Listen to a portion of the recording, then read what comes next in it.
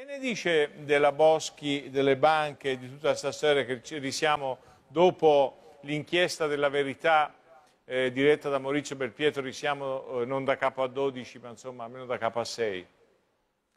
Io sono stato a Treviso la settimana scorsa ad incontrare i truffati delle banche venete. Sì. In questi mesi ho incontrato i truffati di Banca Etruria e di tante altre banche.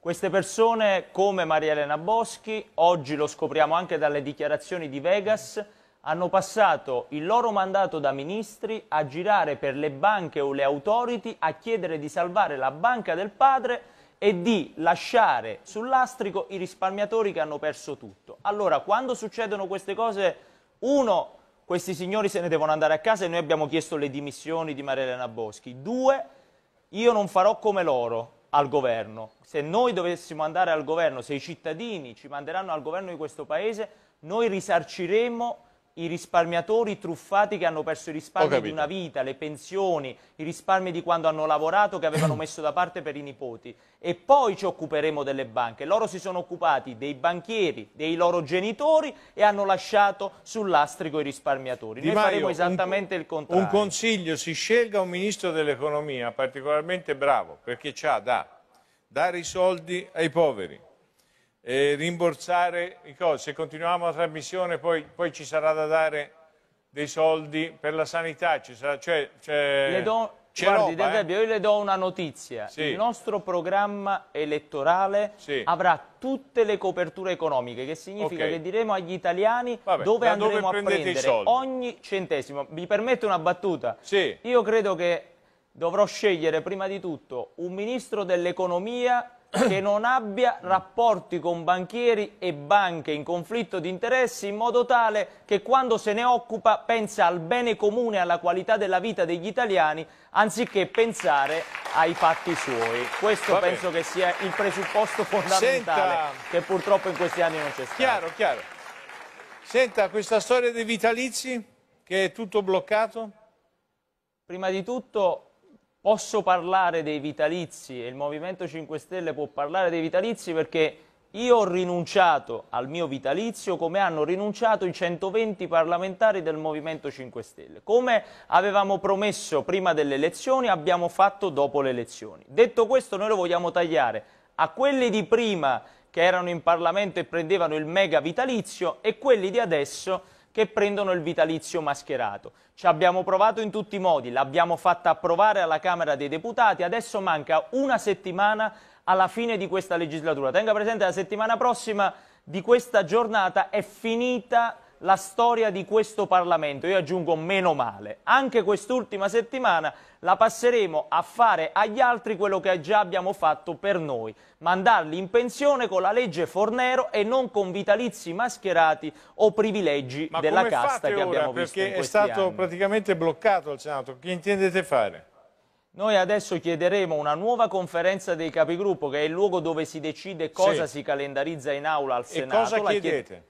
E chiederemo di portare in aula da lunedì la legge che abolisce i vitalizi. È già stata approvata alla Camera, stiamo aspettando solo al Senato che si approvi così com'è, non dobbiamo più rimandarla indietro, solo che il governo e devo dire anche parte delle opposizioni non sono particolarmente contente di vedere arrivare questa legge in Parlamento. E questo è il vantaggio, le dico, il vantaggio che abbiamo noi, perché pure se dovessimo andare al governo, con serenità taglieremo a tutti quanti gli altri il vitalizio, perché noi già abbiamo rinunciato a quel privilegio e non abbiamo conflitti di interesse nel metter mano a quei privilegi. Tagliare i, i, vitalizi significa dire a chi prende una pensione minima in questo Paese puoi credere ancora nelle istituzioni, perché non c'è un politico che dopo tre anni prende 1000 euro e tu dopo 30 anni prendi 300 Senta, euro di pensione. Di Maio, l'ultima questione. Eh, siamo all'indomani, oggi è il giorno dopo che ci sono state le elezioni e il Movimento 5 Stelle ha preso metta più voti degli altri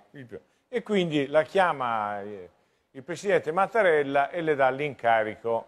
Lei da chi va per formare il governo? Perché da soli non credo che prendiate il 50%. Se non dovessimo raggiungere il 40% dei consensi, sì. Eh, allora se non dovessimo avere i numeri, Sì, perché 40, il 40% è un po' Sì. la soglia per riuscire a Sì, raggiungere i numeri e governare da soli, io le ricordo che, io le ricordo che tre, mesi- tre settimane fa abbiamo raggiunto il 35% Ma in Sicilia da soli. Mettiamo che lo Di- prendiate, d'accordo? Che non lo mettia- prendiate. se non dovessimo prendere Però, il 40%, però lei è io le dico prende di più di tutti. No, le dico, Mm. io dialogherò con tutti, utilizzeremo le consultazioni costitu- che la Costituzione prevede quando si dà un incarico ad un, candida- ad un incaricato Presidente del Consiglio per ascoltare tutte le forze politiche e dirò queste sono le nostre priorità, abbassamento delle tasse alle imprese, pensioni minime più alte, reddito di cittadinanza, abolizione di un po' di leggi che stanno Senza bloccando e asfissiando il? Paese e chiederemo a tutti la fiducia per partire con un governo e rimetteremo al centro le priorità degli italiani e non i giochi di poltrone o i giochi di potere interni. Tutti vuol dire tutti? Tutte le come le consultazioni prevedono, ascolterò tutte le forze, tutti i gruppi parlamentari. Se non ce la facesse, saranno- lei pensa che si rivoti a giugno o, o pensa a qualche... Non diciamo- ci sono altre, io le dico questo, non ci sono altre opportunità perché questa legge elettorale era stata progettata per far mettere insieme Berlusconi e Renzi, ma non hanno i numeri per fare 51 insieme, quindi le altre forze politiche o votano la fiducia a noi o perdono la poltrona, tornano a casa e si torna a votare. Staremo a Poi vedere. cosa faranno credo proprio che Vabbè, lo so. Staremo a vedere. Io ci ho capito ancora poco, però eh, magari sono io un po' duro di comprendonio.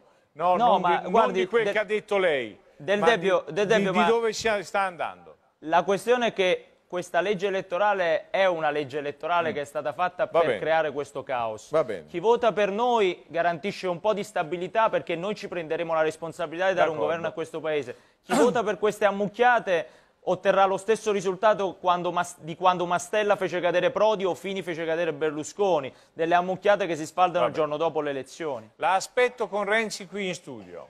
Se lo fanno, Facciamo con, tutti, facciamo con tutti i candidati, sperando che sia anche Renzi, bene, perché non lo bene. so, lo spero per lui.